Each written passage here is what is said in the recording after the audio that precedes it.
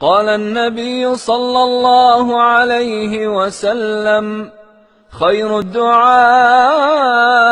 دعاء يوم عرفة وخير ما قلت أنا والنبيون من قبلي. لا